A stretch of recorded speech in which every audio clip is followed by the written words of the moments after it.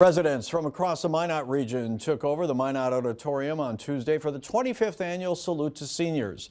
The day featured several events, including the singing of the national anthem and the American Legion presentation of colors. The coalition hosted a variety of entertainers, including KMOT's Joe Skrzycki, who sang with the Minot Chamber Chorale. Area healthcare providers and other companies had booths where they gave away free swag. They shared information regarding healthcare treatment, medical advice, long-term care, and healthy living. There was also a Hans Christian Andersen impersonator there to take photos with guests.